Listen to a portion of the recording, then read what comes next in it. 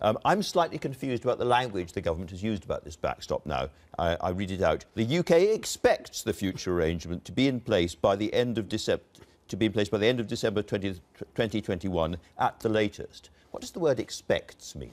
Exact, exactly what it says. Um, it might you, not happen. If you if you if you look at what's go going to have to happen, we know that in the autumn of this year we're going to need to get agreement on the text of the withdrawal agreement, which includes the backstop arrangement, yes. fallback for, for Ireland. As you alongside, expect alongside, or hope yeah, that it'll be over by along, 2021. Alongside that, Andrew, the House of Commons and the European Parliament are both very clear. They will need clarity about what it is we are transitioning to at the end of the implementation period. So that will be part of the consideration okay. of both parliaments about what we do.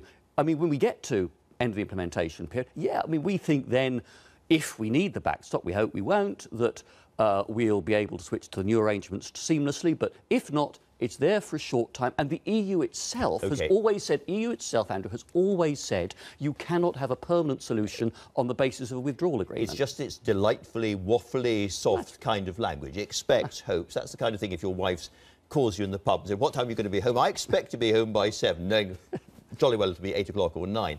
It's that kind of language. It's, it's, being, it's being absolutely sensible and reasonable if we get a, a okay. good deal with the EU that needs ratification in national parliaments.